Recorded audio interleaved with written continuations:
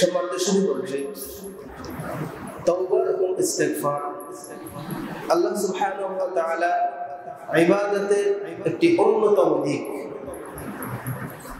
সালাত, সিয়াম, হজ, যাকাত, এগুলো ফরজ ইবাদত। আল্লাহকে ভয় করা, আল্লাহর কাছে চাওয়া আল্লাহর কাছে ক্ষমা চাওয়া, আল্লাহর কাছে সাহায্য চাওয়া এগুলো কিন্তু ইবাদত।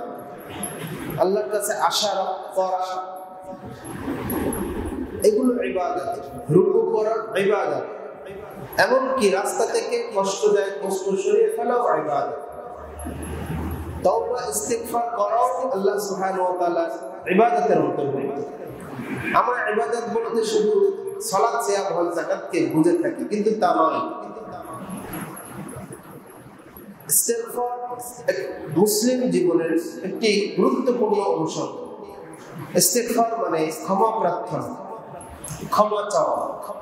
পূর্বের কৃত যত পাপ আছে, সেই পাপের জন্য আল্লাহ তাআলার কাছে ক্ষমা চাওয়া এবং সেগুলোর ব্যাপারে অনুতপ্ত হওয়া ও সেই কাজগুলো আর না করার মর্মে দৃঢ় প্রত্যয় ব্যক্ত করার মাধ্যমে আল্লাহ সুবহানাহু কাছে ক্ষমা প্রার্থনা করা।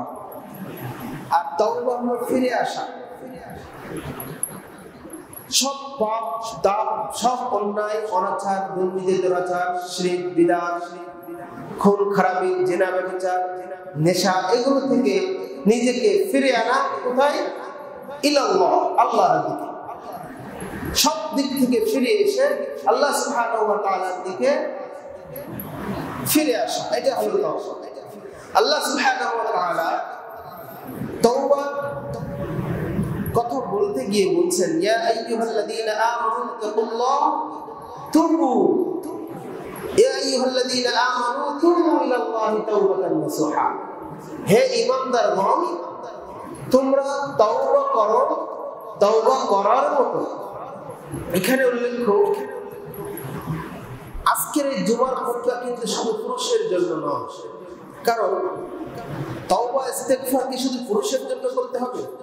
নাকি নারীদের জন্য? আল্লাহ কোরআনুল কারীমে অসংখ্য জায়গায় বলেছেন তাই না? আরও বলেছেন নাস। নাস বা মানুষের ভিতরে কি মহিলারা পড়ে না? পুরুষও পড়ে, মহিলাও পড়ে। ঠিক হে ঈমানদারগণ ঈমানদারদের ভিতরে কি নারীরা নাই? ঈমানদার নারীও আছে, ইমানদার পুরুষও আছে। সুতরাং এই ওয়াজ শুধু পুরুষের জন্য এমনটি ভাবা উচিত নয়। আমাদের সমাজের মহিলারা মনে করে, মহিলাদের ওয়াজ মানে মহিলাদের হায়েজ নেফাজের আলোচনা, মহিলাদের পবিত্রতার আলোচনা, স্বামীর খেদমতের আলোচনা, সন্তান লালন পালনের আলোচনা। ওগুলো তো আছে। কিন্তু মৌলিক যে আলোচনার বিষয়, সেগুলো আমরা মনে করি এটা পুরুষের জন্য আমাদের মহিলাদের জন্য নয়।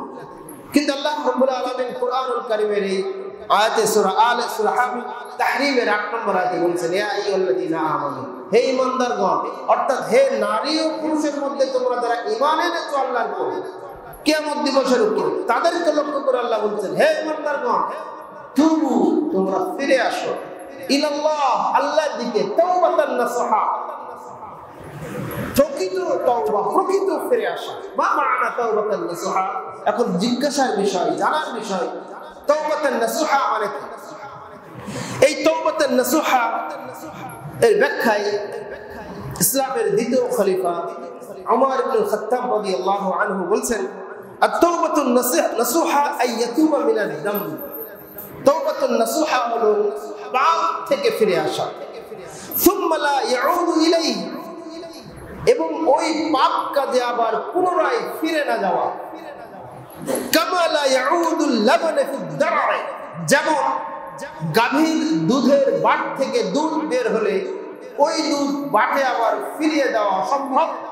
অনুরূপ ভাবে একজন নারী পুরুষ আল্লাহর দিকে তওবা করে ফিরে আসবে ওই পাপ কাজে ওই রূপ ফিরে যাওয়া তার জন্য সম্ভব এইভাবে তওবা করতে নাসুহা মানে পাপ থেকে এমন ভাবে তওবা করা জীবন চলে গেলে ওই পাপ তার দ্বারা যেন সংগঠিত না হয়। সম্বন্ধে শুধু বলি বিষয়টা খুব শর্টলি আলোচনার পরে এবার করতে চাই। ক্ষমা প্রার্থনা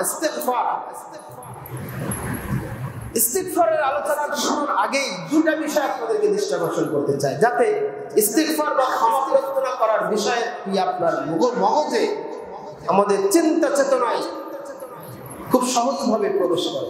এবং ক্ষমা চাইতে হবে, ক্ষমা প্রার্থনা করতে হবে, এটা আমাদের মাথায় সহজেই কাজ করবে। সহজেই মন চাইবে যেন আমি ক্ষমা চাই। আমাদের সমাজে দুটা কারণ আছে। যে কারণগুলোকে আমরা তওবা করার কাজে এত পিছিয়ে বা ইস্তেগফার করার কাজে এত আমরা পিছিয়ে। প্রথমত আমার কাছে মনে হয়েছে, একটা হলো আল্লাহ তাআলা তথা আমাদের সৃষ্টিকর্তা আল্লাহ তাআলা সম্পর্কে আমাদের জ্ঞানের স্বল্পতা। আল্লাহকে আমরা চিনি না। আল্লাহকে আমরা জানি না। আল্লাহর বড়ত্ব আল্লাহর সম্মান, আল্লাহর ক্ষমতা, আল্লাহর পথ, আল্লাহর ইজ্জত, আল্লাহর জালালা সম্পর্কে আমাদের জ্ঞানের পরিমাণ একেবারে উন্নত সে আমাদের আহলে হাদিস সমাজে বলে আর অন্যান্য সমাজে বলে বুকে হাত বাঁধলেই রফলাদিন করলেই আর জোরে আমি বললেই আহলাদিস হওয়াটা খুব কঠিন যদি আল্লাহকে চেনা না যায়। আমরা এটা জানি, আল্লাহ গোটা পৃথিবীকে সৃষ্টি করেছেন। সৃষ্টিকর্তা হিসেবে আল্লাহকে আমরা জানি। কিন্তু আমার সার্বিক জীবন আপনাকে আমার আপনার আমার সার্বিক জীবন যিনি লালন পালন করছেন, তাকে আমরা চিনি না। যিনি আমার রুজিকে, রিজিকের ব্যবস্থা করেছেন, তাকে আমরা চিনি না। যিনি আমার ইজ্জতের ব্যবস্থা করেছেন, তাকে আমরা চিনি না। ইজ্জত কি আমি নিজে নিজে অর্জন করেছি রিজিক কি আমি নিজে নিজে অর্জন করে থাকি। আপনি, আমি সন্তান হিসেবে যখন দুনিয়াতে ভবিষ্য হয়েছে, আপনি কি মনে করেন আমার নিজের শক্তির বলে আমি দুনিয়াতে এসেছি? মায়ের গর্ভ থেকে যখন সন্তান ভবিষ্য হয়, দশ মাস, দশ দিন মায়ের গর্ভে থাকার পরে এগারোতম দিনে আর থাকে না। ও নিজেই বেরিয়ে আসে। কার অনুমতিতে বের হয়? তার আগে ভাবুন। যখন স্বামী স্ত্রীর মিলনের ভাব মাধ্যমে সন্তান গর্বে ধারণ গর্বে আসে, কার অনুমতিতে আসে? কে নিয়ে আসে? কে সেই মহান সত্তা? তারপরে ভূমিষ্ঠ হল।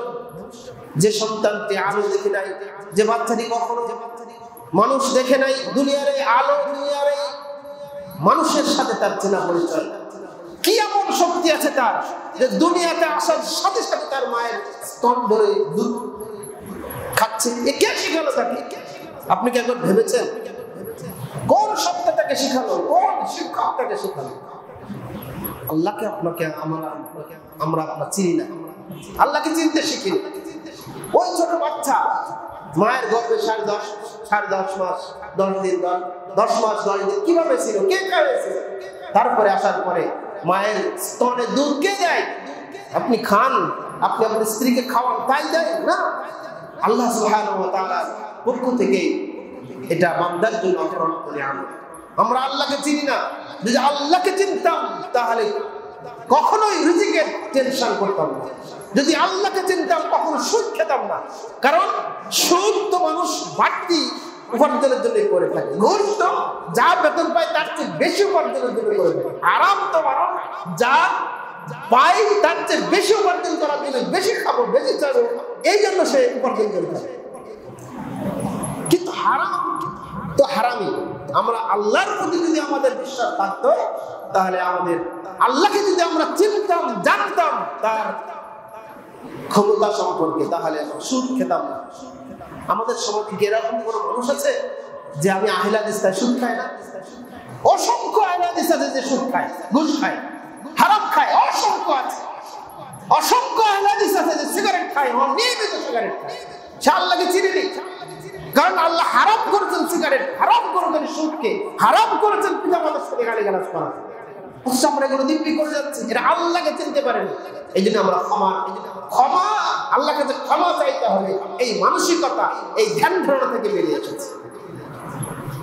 সম্মত শুরু আল্লাহ কাছে ক্ষমা চাওয়ার ব্যাপারে যখন আপনি এটা চিন্তা করে যাবেন যে আপনি যতই পাপ করেন, অন্যায় করেন, এই পৃথিবী যেমন করছেন আল্লাহ আপনার এই ছোট্ট একদিনের বয়স থেকে আপনার মৃত্যু পর্যন্ত ষাট সত্তর বছরের জিন্দগিটা যেমন লালন পালন করছেন আল্লাহ ঠিক মৃত্যুর পরে আপনাকে আমাকে আল্লাহর কাছে উঠতে হবে, এটাও আপনাকে আমাকে বিশ্বাস করতে হবে। এই ধ্যান, এই চিন্তা, এই ধারণায় এই আকিদা, এই বিশ্বাস যখন আপনার অন্তর্জগতে ঢুকে যাবে, আপনার মেধা, মগজে ঢুকে যাবে, ক্ষমা চাওয়ার পথ আপনার কাছে পরিষ্কার হবে দুই নম্বর আমাকে আপনাকে এই মর্মে যদি চিন্তা এসে যায়, বিশ্বাস জন্মে যায়, যা আমি সামান্য থেকে সামান্য যা করি না কেন, এক সেকেন্ড যেখানে ব্যয় করি না কেন, ওই এক সেকেন্ডের সময়ে কৈফিয়ত,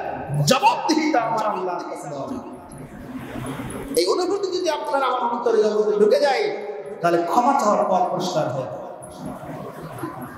আল্লাহ সুবহানাহু ওয়া আমাদেরকে সময়ের মধ্যে সৃষ্টি করেছেন। ওয়ালা আসর ইন্নাল সময়ের কসম করেছেন আল্লাহ, যুগের কসম করেছেন আল্লাহ। এই যুগের মধ্যে যারা আছে, তারা সকলেই ক্ষতিগ্রস্ত। কেবলমাত্র আল্লাহর প্রতি ইমান আনান যারা করেছে, সৎ আমল যারা করেছে, পরস্পর হকের দাওয়াত যারা দিয়েছে এবং ধৈর্যধারক যারা করেছে, তারাই সফল কাম। যাও তো অন্তর্জগৎ যদি ঢুকে যায় যে আমার প্রত্যেকটা কর্মের হিসাব আল্লাহ তাআলার কাছে দিতে হবে, কৈফিয়ত দিতে হবে, জবাবদিহিতা দিতে হবে, তাহলে ক্ষমা চাওয়ার পর পরিষ্কার হয়ে যাবে। সম্মান শুধু বলি আলোচনা বুঝতে পারছেন তো? মনোযোগ দিয়ে আলোচনা শুরু হবে, জুমার একটা দিন। সম্মান শুধু বলি তাহলে ক্ষমা চাওয়ার পূর্বে আমি প্রথম দুটা বিষয় বলতে চেয়েছি। একটা, আপনার ক্ষমা চাওয়ার পথ সহজ করে দিবে ক্ষমা চাওয়ার জন্য আপনার মনটা ব্যাকুল হয়ে উঠবে যখন দুটি বিষয় আপনার অন্তর্জগতে ঢুকে যাবে। এক, আল্লাহ সুবহানাহু সম্পর্কে জানা, তার ক্ষমতা, তার ইজ্জত তার সম্মান, তার বরত্ব, তার আজীবত্ব সম্পর্কে, তার লালন পালন সম্পর্কে, তার রিজিক দেওয়া সম্পর্কে, তার হায়াত মহতের মালিক হওয়া সম্পর্কে যখন আমার অন্তর্জগতে পরিষ্কার হয়ে যাবে তখন আমার ক্ষমা চাওয়ার পথ পরিষ্কার হবে। দুই নম্বর, আমার প্রত্যেকটা মুহূর্ত যে আল্লাহ তাআলার কাছে কৈফিয়ত দেওয়া লাগবে, এই চিন্তা যখন আপনার অন্তর্জগৎকে নাড়িয়ে দিবে, আপনার বিবেককে আঘাত করবে, তখন আপনার কাছে ক্ষমা চাওয়ার পথ পরিষ্কার হবে। শুধু এবার আসুন, আমরা মূল আলোচনায় ঢুকি ক্ষমা আপনাকে কেমন চাইতে হবে? আল্লাহ আলামিন ক্ষমা চাইতে নির্দেশ দিয়েছেন, তাই ক্ষমা চাইতে হবে। আল্লাহ চান যে বান্দা ভুল করুক আমি তাকে ভুল, ক্ষমা করব। ভুল করলে আমার কাছে ক্ষমা চাইলে ক্ষমা করব। তিরমিজির আঠারোশো চুয়াল্লিশ নম্বর হাদিস, হাদিসটি সহি। আনাস রাদিয়াল্লাহু আনহু হতে বর্ণিত, তিনি বলেছেন সাল্লাল্লাহু আলাইহি ওয়াসাল্লাম বলেছেন যে, কুল্লুবনা আদম খাত্তা, প্রত্যেক বনি আদম ভুল ভুল করে। আচ্ছা বনি আদমের মধ্যে কি নারী পুরুষ উভয় সামিল না? যুবক, বৃদ্ধ উভয় সামিল? তাহলে এখানে নারীদের কি এখন আলাদা করে কোনো নসিহত করার প্রয়োজন আছে? আর আদম ভুল করে। এখানে অন্যায় করে, অপরাধ করে, এটা বলা যাবে না। ভুল করে। আর ভুলকারীদের মধ্যে সর্বোত্তম ভুলকারী ওই ব্যক্তি যে ভুল করার পরে আল্লাহর কাছে তওবা করে ফিরে আসে। তার মানে কি? ভুল হবে স্বাভাবিক। ইনসান। ইনসান মানে ভুলকারী। যে ভুল করে, সেই হলো ইনসান মানুষ। ভুল হবে, মানুষের। কিন্তু আল্লাহ বলেছেন, ভুল করার পরে যদি আমার কাছে কেউ ফিরে আসে, আমি সব পাপ করে। দেবো। এই চিন্তা যখন আপনার অন্তর জগতে ঢুকে যাবে, আমি যতই পাপ করি, আমি যদি আল্লাহকে ডাকি, আল্লাহ কাছে ফিরে যাই আল্লাহ আমাকে ক্ষমা করে দেবে। তাহলে ক্ষমা চাওয়ার আগ্রহটা বাসনাটা স্বপ্নটা আপনার বাস্তবে রূপ লাভ করবে। সম্পর্ক শুধু ক্ষমা চাওয়াটা আল্লাহর নির্দেশ। আল্লাহ তারা বলছেন অস্তগফিরুল্লাহ তোমরা আল্লাহকে ক্ষমা চাও। নির্দেশ, ক্ষমা চাও। নিশ্চয় আল্লাহ ক্ষমাশীল এবং দয়ালু। আল্লাহ তাআলা অন্যত্র বলছেন তোমরা তোমাদের প্রতিপালকের কাছে ক্ষমা চাও তুবু এবং তার দিকে ফিরে আসো। তার দিকে প্রত্যাবর্তন করো, এটা আল্লাহর নির্দেশ। সালাত আদায় করো। আকিমুস সালাত। তোমরা সালাত আদায় করো, এটা ফরজ। মনে রাখবেন কোরআনে যেখানে আমরের সিগা ব্যবহার করা হয়েছে, অর্থাৎ নির্দেশ সূচক শব্দ ব্যবহার করা হয়েছে, করো, ওঠো, বসো, খাও। তখন এই জাতীয় শব্দ ব্যবহার করা হবে, এটা ফরজ, এটা আবশ্যক, এটা অজিব তা আল্লাহ এখানে বললেন তোমরা তোমাদের প্রতিপালকের কাছে ক্ষমা চাও। তার মানে কি? এটা নির্দেশ, ওয়াজিব। প্রত্যেক মুসলিম নর নারীর জন্য আল্লাহর কাছে ক্ষমা চাওয়া উচিত, ফরজ। কারণ মানুষ ভুল করে, আমরা পাপি, আমরা অন্যায় করি। স্বাভাবিক এটা। পৃথিবীতে আল্লাহ যত নবী এবং রসুল পাঠিয়েছেন, সকল নবী এবং রসুল আল্লাহ ক্ষমা চেয়েছেন। যদিও নবী রসুলগণ সকলেই ছিলেন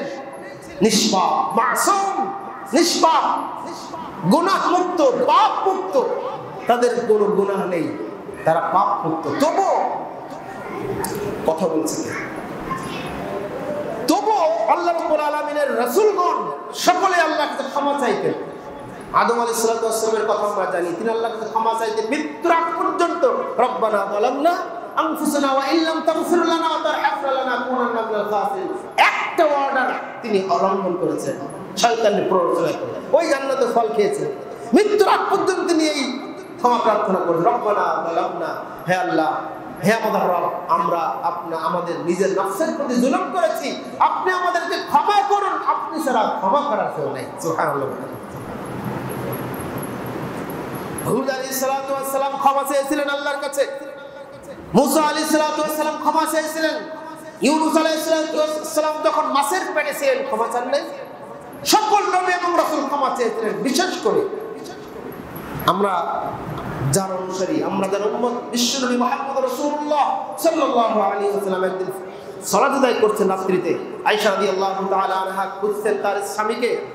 খুঁজে পাচ্ছেন না, দেখা যাচ্ছে হাত হাত করে খুঁজতে হাত করেছে তার পায়ে, দেখা গেল পা খোলা। তিনি জিজ্ঞাসা করেছেন, লিমা সালাতা ইয়া রাসূলুল্লাহ? কত গফরতু লাকা মা তাকাদ্দামা মিন দামবিকা ওয়া মা তাআখারা হে আল্লাহ নবী, আপনি কেন এত কষ্ট স্বীকার করছেন? অথচ আল্লাহ সুবহানাহু ওয়া আপনার পূর্বের সকল গুনাহকে আল্লাহ ক্ষমা করে দিয়েছেন আপনাকে। পরের সকল পাপ যদি কখনো হয়ে যায়, যেগুলো আল্লাহ আগাম ক্ষমা করে দিয়েছেন, তবু আপনি কেন তো ত্যাগ স্বীকার করে ইবাদত করে করে পাপ করে ফেলছেন? কেন?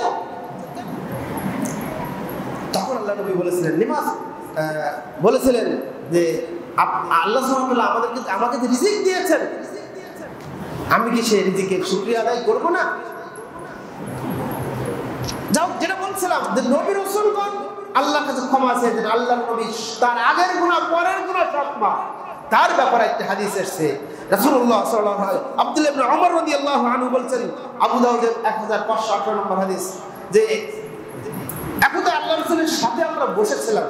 তিনি বলতেন রব্বি গফিরলি ওয়া তুব আলাইহি রব্বি গফিরলি ওয়া আলাইয়া, ইন্নাকা আনতাত তাওয়াবুর রহিম রব্বি গফিরলি, হে আল্লাহ আপনি ক্ষমা করুন। ওয়া তুব আলাইয়া, আমরা আপনার কাছে প্রত্যাবর্তিত হচ্ছি। ওয়া তুব, ইন্নাকা আনতাত তাওয়াবুর রহিম নিশ্চয় আপনি তওবা কবুলকারী এবং রহিম দয়ালু। তো আব্দুল্লাহ ইবনে বলছেন যে আল্লাহ রসুল এই দোয়াটা ইস্তেগফারটা পড়তেই থাকলেন পড়তেই থাকলেন, আর আমি গুনতে থাকলাম, গুনতে গুনতে দেখলাম তিনি একশো বার তওবা ইস্তেগফার করলেন সুবহানাল্লাহ যে আগের গুনাহ, পরের গুনাহ সব পাপ। তিনি দৈনিক একশো বার তওবা ইস্তেগফার করছেন। অন্যত্র ওয়াসাল্লাম বলছেন সেই বুখারীর 6307 ওয়াল্লাহি, আল্লাহর কসম নিশ্চয়ই আমি আল্লাহর কাছে করি, ক্ষমা প্রার্থনা করি এবং তার কাছে ফিরে যাই করি, তার কাছে ফিরে যাই। ফি, ফিল প্রত্যেক দিন আকসার 70 মাররা 70 অধিক সুবহানাল্লাহ যার আগের গুনাহ পরের গুনাহ সব মাফ। তিনি 70 থেকে 100 বারেরও অধিক দিনে আল্লাহর কাছে ক্ষমা চান। আর আমরা তো পাপে পরিপূর্ণ আমাদের জীবন। ঘুষ খাচ্ছি, সুদ খাচ্ছি, বেপর্দা চলছি পরকে লিপ্ত হচ্ছি জাবর ভাষণের সাথে দিব্যি ঘোরাফেরা করছি। বিড়ি, সিগারেট, গোল জর্দা আলাদা হেরেন, সবার ঘরে ঘরে। কিস্তি, কিস্তির অনুসারী সবারই। কি আহলে হাদিস বলেন, কি সাফি বলেন, কি মালিক আহম বলেন, হানাফি বলেন, সকলের মধ্যে এই কিস্তি রোগ জমাট বেঁধে আছে, তাই না? এগুলো কি পাপ নয়? অবশ্যই পাপ। আপনার স্ত্রী বিপর্দায় চলছে, এটা কি পাপ নয়? অবশ্যই পাপ। আপনি বাবা মাদের সাথে খারাপ আচরণ করছেন, এটা কি পাপ নয়? শুধু জোরে আমিন বলে করলেই পরকালে মাপ পাওয়া যাবে এই খলসিয়াত, এই আত্ম সমালোচনা, আল্লাহ সুন্দর কাছে নিজেকে ক্ষমা করে নেওয়ার যে মানসিকতা, এইটা আমাদেরকে কে রাখবে? কে শেখাবে? সমাজ শুরু আল্লাহ ওয়া আমাদেরকে ক্ষমা করার জন্য বারবার বলছেন তোমরা ক্ষমা যারা পাপ মুক্ত তারা পাপ মুক্ত হওয়ার পরও অসংখ্য বার তারা তওবা করেছে। আর আমরা পাপে পরিপূর্ণ, আমরা কাউকে কেয়ার করি না। কাউকে পরোয়া করি না। পাপ করেই যাচ্ছে, পাপ করেই যাচ্ছে। একটা হাদিস শোনে। দারাকুতনি সোনানো দারাকুতনি হাদিসটা বিভিন্ন জায়গায় বলি আমি। যেহেতু গ্রামগঞ্জে এটা ব্যাপক আকার ধারণ করেছে। পাপ দেখেন কেমন পাপ? সোনানো দারাকুতনি চার তিন হাজার ছয়শো একাত্তর নম্বর হাদিস। হাসান। বলছেন আমি বলতে শুনেছি মদ হলো সকল পাপের জননী। মদ হলো সকল পাপের জননী। খামরুন মানে মদ। এখন মদ কাকে বলে? অন্যত্র একটা হাদিসে মুসলিমের নম্বর সাল্লাল্লাহু বলেছেন, কুল্লু খামর, কুল্লু প্রত্যেক নেশা জাতীয় দ্রব্য হলো মদ। যা খেলে নেশা হয়, সেটাই মদ। যা খেলে নেশা হয়, সেটাই মদ। অকুল্ল প্রত্যেক হারাম, প্রত্যেক নেশা জাতীয় দ্রব্য হলো হারাম। আবু দাউদের একটা হাদিস আল্লাহ বলছেন, মা আসকারা কাসীরুহু ফাকালিলুহু হারাম। যা বেশি খেলে মানুষের হেতাহিত বুদ্ধি লোপ পেয়ে যায়, মানুষের মেধা বিকৃত হয়ে যায়, মানুষের নেশাগ্রস্ত করে হয়ে যায় তার সামান্য থেকে সামান্য পরিমাণ খাওয়া দাওয়া এইগুলো এই কথাগুলো কার? নবী মোহাম্মদ রসুল্লাহ সাল্লাহ এটা আমরা বিশ্বাস করি না? আমরা তো আহলুল হাদিস, আলহামদুলিল্লাহ, আমরা সালাফি। আমরা মোহাম্মদি, এগুলো রসুলের সব কথা আমরা অসম্পূর্ণ যদি বিশ্বাস করি। তো যদি তাই হয়, এক হাদিসে আল্লাহ নবী বললেন খমর মদ হলো সকল পাপের জননী। তারপরে মদের সংজ্ঞায় নবী বললেন, যা খেলে মদে কথা আনয়ন করে তাই হলো মদ, আর প্রত্যেক মদই হলো হারাম। তারপরে আল্লাহ নবী বললেন, যা বেশি খেলে মদে কথা আনয়ন করে তার সবটাই, তার অল্প পরিমাণ খাওয়াটাও হারাম। পরিষ্কার কথা। তার মানে বিড়ি সিগারেট গোল জমদালা মাথা হেরোইন যত প্রকার নেশাদার দ্রব্য আছে, সবই হারাম। সবই মদ আর সবই হলো মদের আমি বলি, যদি এক বিড়ির ভিতরে যে তামাক থাকে, এই তামাক যদি এক মুষ্টি তামাক যদি যে জীবনে বিড়ি কখনো খাইয়ে তাকে খাইয়ে দেওয়া হয়, ওর মাথা ঠিক থাকবে? বোঝেন আলোচনাটা বোঝান মাথায় ঢোকার চেষ্টা করেন। যে কখনো বিড়ি খায়নি, তাকে যদি বিড়ি একটা টান দিতে বলা হয়, ও অবস্থা ঠিক থাকবে? যে কখনো গুল খায়নি, তখন যদি একটা গ্লাস পানিতে গুল এক কোটা গুল ঢেলে দিয়ে বলা হয় খাও মাথা ঠিক থাকবে?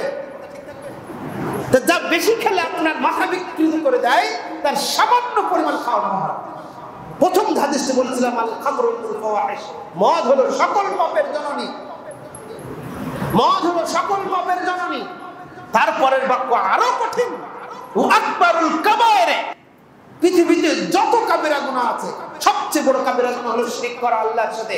তারপরে পিতা মাতাকে গালিগালাজ করা, অপমান করা, অবহেলা করা, তারপরে চুরি, তারপরে সুদ খাওয়া, ঘুষ খাওয়া, তারপরে আপনার মানুষ হত্যা করা, মিথ্যা সাক্ষ্য দেওয়া, এগুলো হলো কাবেরা গুনাহ।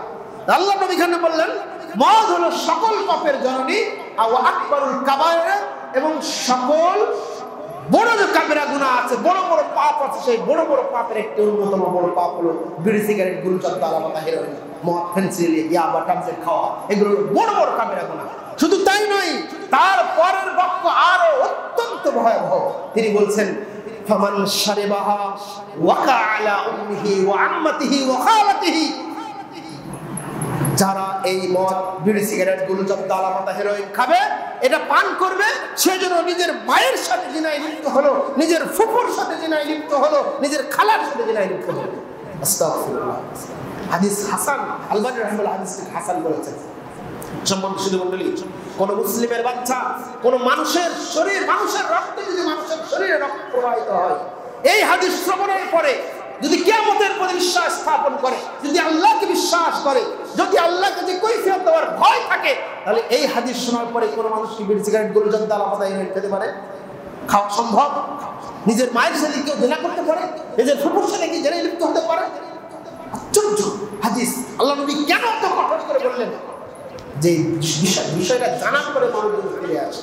যাদের ভিতরে মনুষ্যত্ব আছে, মানুষের রক্ত শরীরে প্রবাহিত হচ্ছে, যারা মানুষ নামে পরিচিত, যারা মানুষের মধ্যে গণ্য হবে, তারা যদি এই হাদিস শোনে, এই হাদিস শোনার পরে তাদের উচিত আজ থেকে, এখন থেকে তওবা করা, আর বিড়ি সিগারেটগুলো যোদ্ধা মাথা হেলে আর কখনো না। বলছিলাম যে পরিপূর্ণ আমাদের সমাজ ব্যবস্থা।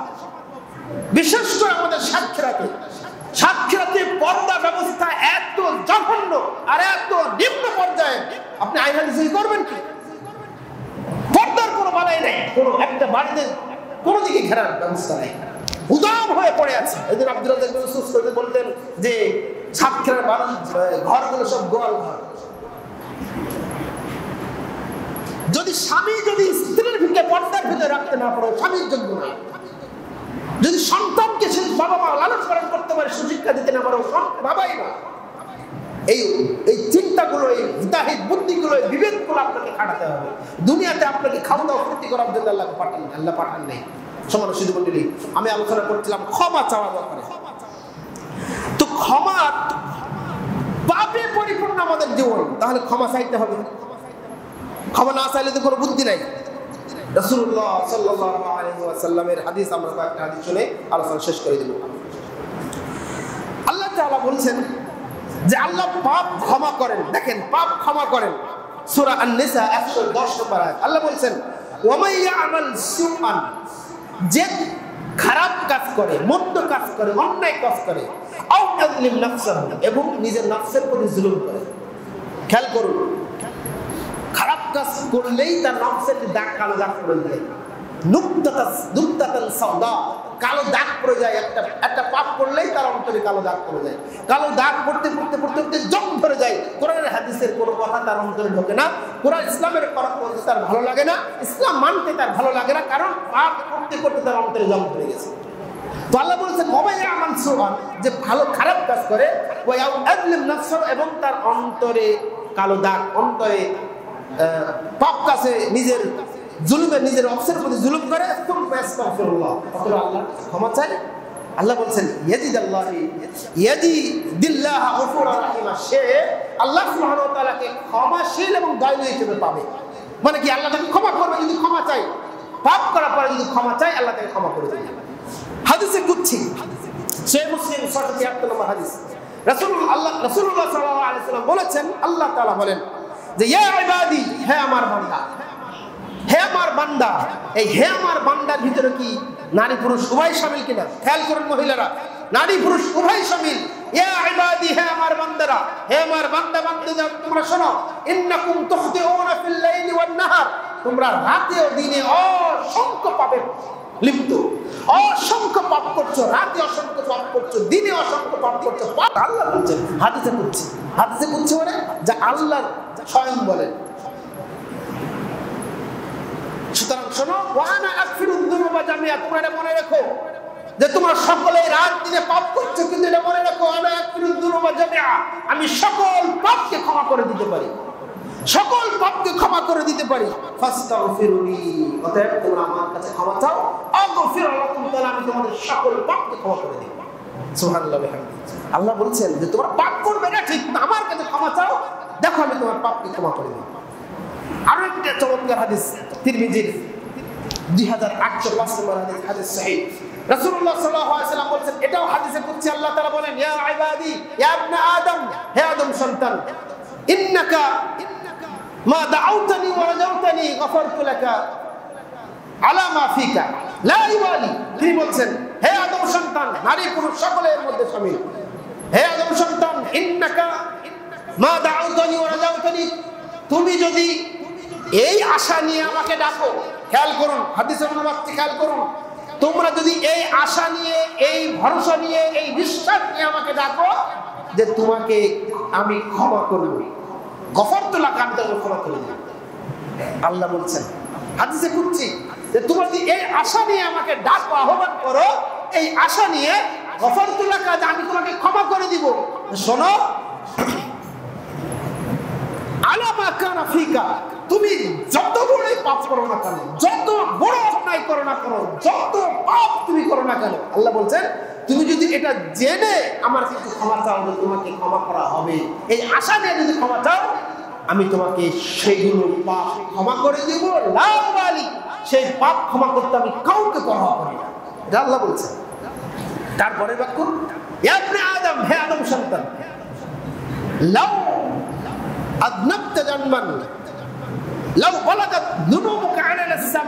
শোনো, তোমার পাপ পাপ হতে হতে হতে হতে যদি আসমান পর্যন্ত থেকে যায়, যদি আসমান পর্যন্ত হয়ে যায়, শূন্যস্থান পূর্ণ হয়ে যায়, আল্লাহ বলছেন, সুম্মা আস্তাগফিরনি অথবা ওই আকাশ পর্যন্ত যাওয়ার পর যদি আমার কাছে ক্ষমা চাও, আমি তোমাকে ক্ষমা করে দেবো। লাউ বালি তোমাকে ক্ষমা করতে আমি কাউকে পরোয়া করি না। আল্লাহ ক্ষমাশীল। আল্লাহ পাপ ক্ষমা করেন। আল্লাহ কাছে চাইলে আল্লাহ ক্ষমা করেন। শুধু তাই নয়, পরের হাদিসটি, পরের বাক্য আরও সুন্দর। তিনি বলছেন আদম, হে আদম সন্তান, ইন্নাকা লাউ ইন্নাকা লাউ আতাইতানি বিকরাবিল আরদি খাতায়া। তোমরা যদি আসমান এবং জমিনের মধ্যবর্তী যে ফাঁকা জায়গাটা আছে, এই ফাঁকা জায়গা ভর্তি যদি পাপ নিয়ে আমার কাছে আসো আর সেই পাপের মাঝে কোনো শিরকের গন্ধ না থাকে আল্লাহ বলছেন যে তাহলে আমি তোমার কাছে ওই আস- আসমান এবং জমিনের মধ্যবর্তী যে যে যত পাপ পরিপূর্ণ তোমরা করেছ, অতগুলো ক্ষমা নিয়ে তোমাদের কাছে হাজির হব বিহামদিহি। নিরাশ হওয়ার প্রয়োজন নেই, ক্ষমা চাইতে হবে, সে চাওয়ার অনুভূতি চাওয়ার চর্চা করতে হবে, রমায়ণ করতে হবে, শিখতে হবে। ক্ষমা চাওয়ার অনুভূতি জ্ঞাপন করতে অহংকার করার কিছু নেই। এই শরীরে যদি দুইবার জায়গা পাতলা পায়খানা হয়ে যায়, কোনো দাম নেই, কোনো শক্তি থাকে না। এই শরীর নিয়ে কোনো অহংকার করার কিছু নেই। কোটি কোটি টাকার মালিক আপনি রাতারাতি ধনী, গরিব হয়ে যাবেন। অহংকার করার কিছু নেই। সুন্দর চেহারা, অহংকার করার কিছু নেই। একদিন চলে যেতেই হবে আমাদেরকে আমাদেরকে। অতএব ক্ষমা চাওয়ার অভ্যাস করুন। ক্ষমা চাওয়ার অভ্যাস করতে হবে। সম্মানিত শুধু মন্ডলী শুধু তাই নয়, আল্লাহ রাব্বুল প্রত্যেক দিন আমাকে আপনাকে ক্ষমা করার জন্য রাতের শেষ তৃতীয় অংশ আমাদেরকে ডাকেন আল্লাহ বলছেন, রাসূলুল্লাহ বলছেন ইয়ানজিলু ربنا تبارك وتعالى في كل ليلة إلى سماء الدنيا حتى হাত্তা الليل আকর প্রত্যেক দিন রাতের শেষ দিতে অংশে আমাদের মাথার উপরে যে আসমানটি আছে, এই আসমানে আল্লাহ রবুল আলামিন আড়স থেকে নেমে আসেন। আরশ থেকে নেমে আসেন তিনি লক্ষ্য পৃথিবীবাসীকে লক্ষ্য করে বলেন কে আছো তোমরা আমার কাছে করছ? আমি তোমাদের দিব। কে আছো তোমরা আমার কাছে ক্ষমা প্রার্থনা করছ? কে আছো আমার কাছে কে আছো আমার কাছে চাচ্ছ? তুমি অসুস্থ, আমার কাছে দোয়া করো আমি তোমাকে সুস্থ করে দেব। তোমার টাকা আমার কাছে টাকা আমি তোমাকে টাকা তুমি তুমি বিপদ থেকে দোয়া করো, আবেদন করো, আমি তোমাকে বিপদ থেকে উদ্ধার করব।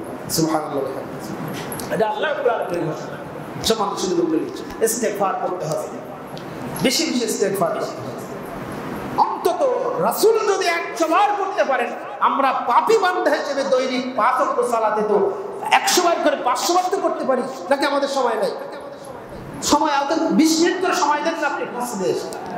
মসজিদে এসে বিশটা মিনিট সময় দেন একা করতে দেখবেন আপনি যথা টাইমে সবগুলো সলাত আদায় করে আরও আপনি সময় পাচ্ছেন, অনেক দাঁড়িয়ে করেন পাঁচটা মিনিট সময় দেন দশটা মিনিট, বিশটা মিনিট সময় দেন ইস্তেকফার করার পিছনে কি করলে? ইস্তেকফার করলে কি হবে? ইস্তিগফার করলে হবে কি? ইস্তিগফার করলে আপনার জীবন জীবিকা বেড়ে যাবে, রিজিক বেড়ে যাবে। ইস্তিগফার করলে আল্লাহ বলছেন যে, ইউমাত্তিউকুম মাতাআন হাসানা ইলা আজালিন মুসাম্মা। একটা নির্দিষ্ট সময় মানে মৃত্যুর আগ পর্যন্ত আল্লাহ আপনার উত্তম জীবন উপকরণের ব্যবস্থা করবেন, সুবহানাল্লাহ অতএব হে যুবক ভাইরা, যারা বেকার অস মানে অর্থের অবস্থায় যারা কাঙ্গাল, যারা খুব টেনশনের অবস্থায় আছে, আজকে হার্ট অ্যাটাকের রোগ বেড়ে যাচ্ছে, আজকে ডায়াবেটিসের রোগ বেড়ে যাচ্ছে, আজকে ব্রেন স্ট্রোকের রোগ বেড়ে যাচ্ছে, কারণ অর্থের সংকট, কারণ অভাবের সংসার, কারণ অভাব, এই অভাব মেনে নেওয়ার মেনে নিতে পারছি না বলে আমাদের এই রোগগুলো হচ্ছে, তাই না? অথচ আল্লাহ রাব্বুল বলছেন, যদি তুমি করো, আল্লাহর কাছে ক্ষমা চাও, তাহলে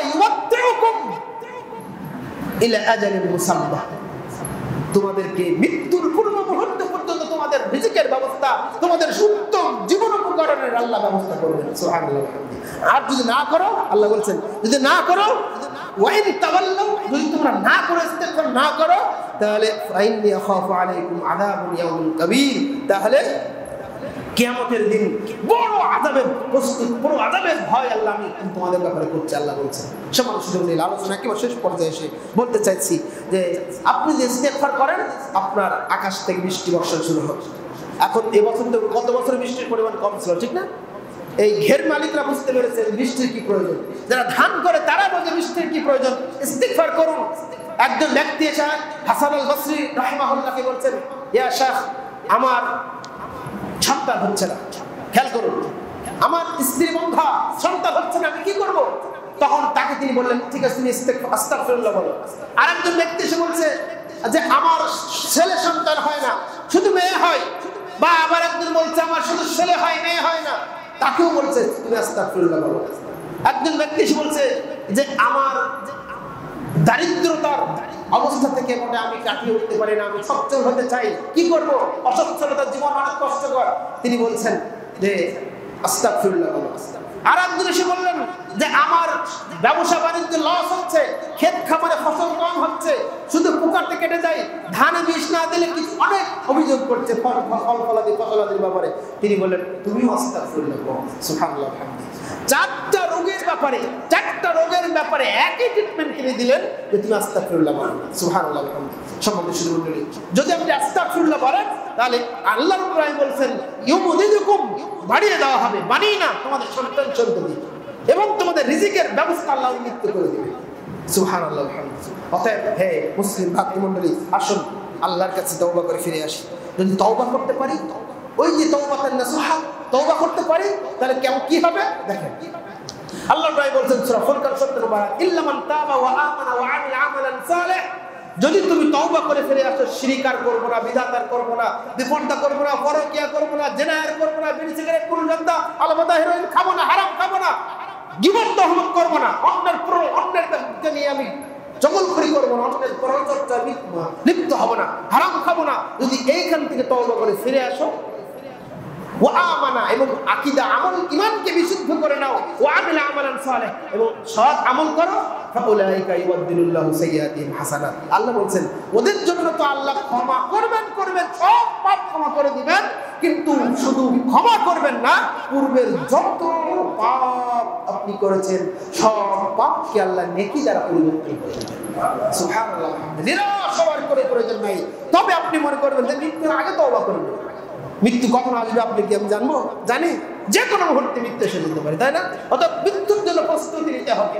মৃত্যুর জন্য আপনি ঈদের কোরবানির জন্য প্রস্তুতি নিচ্ছেন, বাজারে যাচ্ছেন, কোরবানি কিনে এনে গরু খুব বাড়িতে ফেলে ফেলে বাড়িতে রেখে তাকে আর এ করছেন। আপনি কুরবানের জন্য প্রস্তুতি নিচ্ছেন সামান্য বস্তু খাবার জন্য।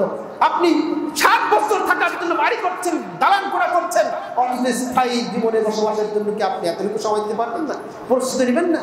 অতএব যে তৌবা করলে আপনার পূর্বে সব পাপ ক্ষমা হবে এবং পাপগুলোকে আল্লাহ লিখে তারা পরিবর্তন করে দিবে। আসুন, আমরা এইরকম এবাদাতে নিজেকে সবসময় জড়িয়ে রাখি। সবসময় নিজেকে সম্পৃক্ত রাখি, নিয়োজিত রাখি। আল্লাহ রাব্বুল আলামিন আমাদের সকলকে সকল প্রকার পাপ থেকে দূরে থাকার তৌফিক দান করুন, আল্লাহুম্মা আমিন। এবং সকল প্রকার পাপ থেকে আল্লাহর কাছে ক্ষমা চাওয়ার তৌফিক দান করুন, আল্লাহুম্মা আমিন। সকল প্রকার পাপ থেকে তওবা করে ফিরে আসা, আল্লাহর কাছে ফিরে আসার তৌফিক দান করুন, আল্লাহুম্মা আমিন। হে আল্লাহ, আমাদের মাঝে অনেকে অসুস্থ, তুমি তাদেরকে সুস্থতা করে দাও, আল্লাহুম্মা আমিন। আমাদের মধ্যে অনেকে বিপদগ্রস্ত, তুমি বিপদ থেকে উদ্ধার করো, আল্লাহুম্মা আমিন। আল্লাহ, আমাদের মধ্যে অনেকে আমাদের অনেক বিভিন্নভাবে সমস্যাগ্রস্ত, তাদের সমস্যাকে উদ্ধার করো। আমাদের বাবা, মা, দাদা, দাদি, নানা, নানি, আত্মীয় স্বজন, পাড়া প্রতিবেশী বন্ধু বান্ধব পরিচিত, অপরিচিত, অনেকেই মারা গিয়েছে আল্লাহ তাদের সকলের তুমি মাফ করে দাও। আল্লাহ আমিন। আল্লাহ, তুমি তাদেরকে সকল, সকলকে জান্নাতুল ফেরদাউসের মেহমান হিসেবে কবুল করো। আল্লাহ আমিন। এই দাবি, এই দাওয়া রেখে আমার নিজের জন্য দোয়া আছে, আমাদের পরিবারের জন্য দোয়া আছে, সকলের জন্য দোয়া কামনা করে এখানে সমাপ্তি করছি। হাদা, আস্তাগফিরুল্লাহ লি ওয়া লাকুম ওয়া মুসলিমিন। ওয়া বিহামদিকা, আশহাদু আল্লা ইলাহা ইল্লা